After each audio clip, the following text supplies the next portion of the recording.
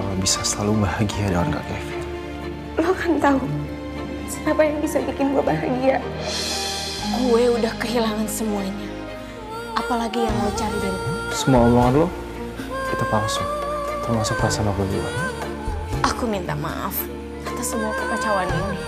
Lo gak perlu nangis. Karena lo nantinya pasti akan bahagia.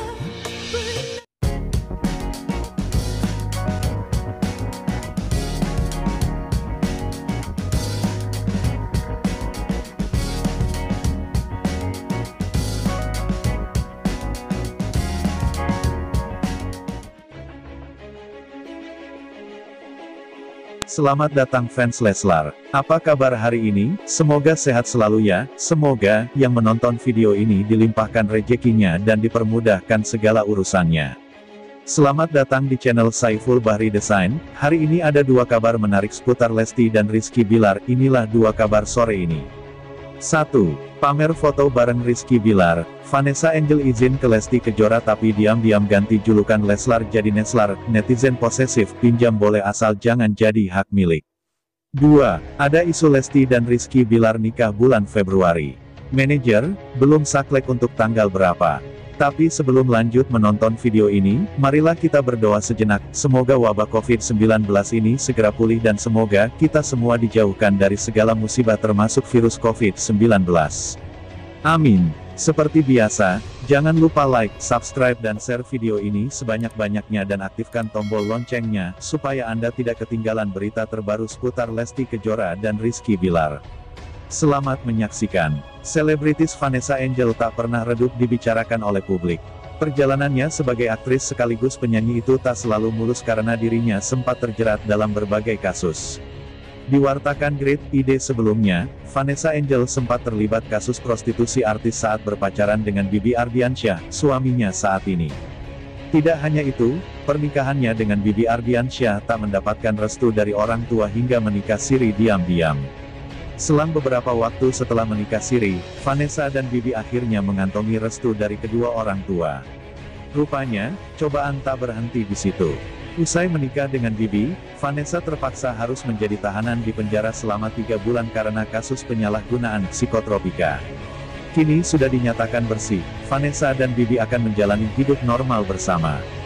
Kehidupan harmonis keduanya bersama sang buah hati, Galas Sky Ardiansyah, kerap dibagikan di media sosial. Vanessa dan Bibi pun kerap diundang di berbagai program talk show televisi.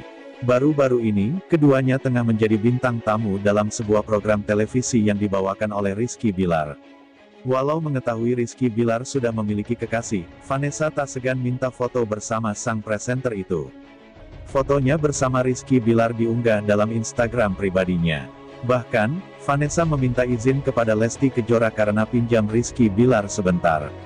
Pinjam dulu ya at Lesti Kejora tagar Neslar, ujarnya dengan emoji tertawa. Bahkan, potret dirinya dengan Rizky Bilar itu diabadikan oleh suaminya, Bibi Ardiansyah. Momen itu terlihat dari Instagram Stories Vanessa. Warganet yang melihat foto Vanessa dan Rizky Bilar langsung membanjiri kolom komentar.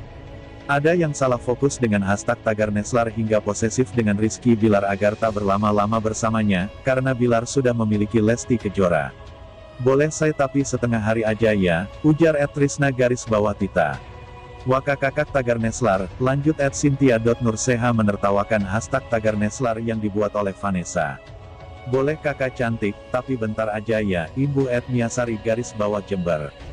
Pinjam boleh, asal jangan jadi hak milik waka kakak timpal Ed Zakiras Hakian. Berita selanjutnya, manajer penyanyi dangdut Lesti Kejora, Rifki Fitria mengungkapkan rencana pernikahan kliennya dengan aktor Rizky Bilar. Ia membantah kabar bahwa pernikahan keduanya akan digelar pada bulan Februari tahun 2021. Wanita yang akrab disapa Rivi tersebut justru heran dengan isu yang beredar tersebut. Hal ini dituturkannya pada YouTuber Rizky Dharma Setiawan di kanal YouTube BRIZ Entertainment, Minggu, tanggal 24 Januari tahun 2021. Diketahui, pernikahan antara Lesti dan Rizky Bilar dikabarkan akan berlangsung tak lama lagi. Meski mengakui akan menikah tahun ini, namun pasangan tersebut masih enggan membeberkan tanggal akad nikah mereka. Akan tetapi, Lesti dikabarkan telah mengambil gaun pernikahan yang dipesannya pada desainer Ivan Gunawan. Hal ini membuat banyak orang berspekulasi bahwa pernikahan tersebut akan digelar pada Bu. Untuk calon istriku, telah tiba masanya, kau menjelma seperti bidadari, yang lahir tadi saat ku berjanji. Wahai calon istriku, aku begitu tulus mencintaimu, seluruh hidup hingga hayatmu, tak sekalipun ku ragu menjagamu. Pandanglah wajahku, yang kini adalah calon imammu. Aku datang, aku datang padamu. Dengan pakaian pengantin, ku jemput kau ke rumahmu dan ku bawa ke gereja. Aku datang, aku datang padamu. Ku bawa ke langit beledu. Fajar pertama kaum wanita, ku singkapkan padamu dengan perkasa. Maka hujan pun turun, karena hujan adalah rahmat dan rahmat adalah bagi pengantin. Angin jantan yang deras menggosoki sekujur badan bumi menyapu segala nasib yang malang. Pohon-pohonan membungkuk, bambu dan mahoni membungkuk segala membungkuk bagi rahmat. Dan rahmat hari ini adalah bagi penganti. Aku datang, aku datang padamu, dan hujan membersihkan jalanan. Ku ketuk pintu rumahmu dan rahmat syarat dalam tanganku. Kau gemetar menungguku dengan baju pengantin hijau dan sanggulmu penuh bunga. Permata-permata yang gemerlapan di tubuhmu bagai hatimu yang berdebar-debar gemerlapan menunggu kedatanganku. Cinta itu satu tapi banyak ia menyatu tapi berserak seperti ribuan gerimis di senja hari. Betapa bahagia sepasang kekasih lebih bahagia jika mereka mampu melepaskan ikatan-ikatan itu dan merajutnya menjadi sayap-sayap merpati, yang membawa mereka terbang bersama ke langit tinggi. Cinta itu melepaskan, bukan membelenggu jika engkau mencintai kekasihmu. Jangan meminta dia bersimpuh di kakimu pinanglah kekasihmu sebagaimana engkau meminang impianmu yang kau lukis menjadi kupu-kupu. Sepasang kekasih menabur cinta sepanjang jalan. Permadaninya ayat-ayat Tuhan, istananya surga di ketinggian. Karena cinta itu setinggi-tinggi kebenaran bila perjalanan telah sampai di pintu kematian setiap kekasih akan dimintai pertanggungjawaban. Pernikahan adalah kebersamaan yang berjarak biarkan ia seperti itu. Supaya engkau tetap memiliki dirimu dan kekasihmu tidak kehilangan dirinya. Jangan menghidangkan seluruh cintamu di meja makan, sebab semua akan dilahap habis lalu dilupakan, yang harus kau berikan cinta itu.